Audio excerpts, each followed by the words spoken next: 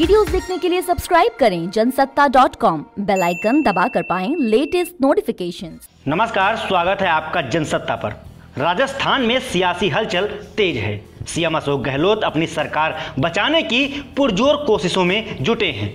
लेकिन राजस्थान में यह कोई पहला मौका नहीं है, जब किसी सीएम को अपनी ही पार्टी में बगावत या यूँ कहें, सीएम की कुर्सी बचाने के लिए जद्दोजहद का सामना करना पड़ा हो।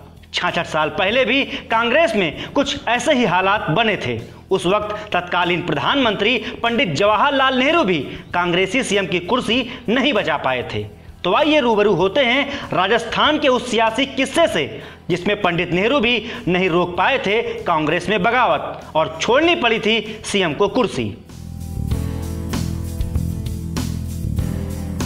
दरअसल दैनिक भास्कर में छपी खबर के मुताबिक साल उन्नीस सौ बावन में राजस्थान विधानसभा के चुनाव हुए थे।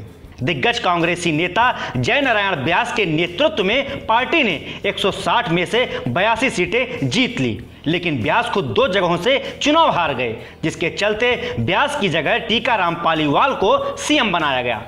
लेकिन इस बीच किशनगढ़ से चुनाव जीतने वाले चांदमल मेहता ने अपनी सीट खाली कर दी और ब्यास ने वहाँ से उपचुनाव लड़ा। ब्यास के चुनाव जीतते ही आलाकमान द्वारा पालीवाल को हटाकर जय नारायण ब्यास को सीएम बना दिया गया। ब्यास को तत्कालीन पीएम पंडित नेहरू का करीबी माना जाता था। लेकिन उन्नीस सौ चौवन में, यानी कि छाछठ साल पहले, राजस्थान के तत्कालीन सीएम जय नारायण व्यास के खिलाफ कांग्रेस में बगावत हो गई।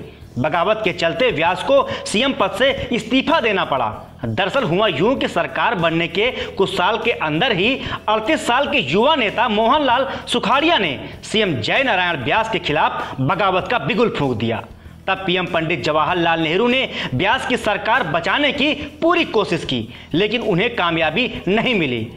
कांग्रेस ने पार्टी के तत्कालीन महासचिव और कद्दावर नेता बलवंत राय मेहता को दिल्ली से जयपुर भेजा, लेकिन नतीजा वही रहा।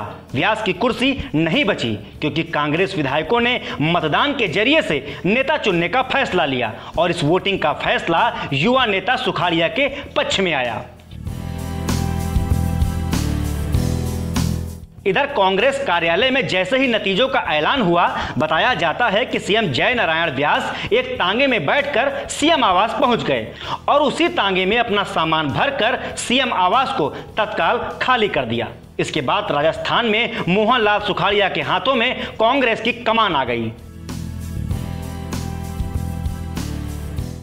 अब अगर बात मौजूदा समय की करें तो राजस्थान कांग्रेस की राजनीति में उन्नीस सौ चौवन वाली कहानी दोहराई जा सकती है।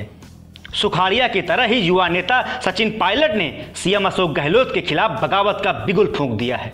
हालाँकि अब यह देखने वाली बात होगी कि इस बार कांग्रेस आलाकमान राजस्थान में सरकार बचा पाता है या फिर छाछठ साल पुराना इतिहास दोहराया जाएगा। तो इस रिपोर्ट में हमने आपको राजस्थान के सियासत से जुड़े एक किस्से से रूबरू कराया। ऐसे ही दूसरे सियासी किस्सों के लिए बने रहें जनसत्ता के साथ। और राजस्थान की सियासत से जुड़ी हर खबर के लिए हमारा चैनल सब्सक्राइब करना ना भूलें।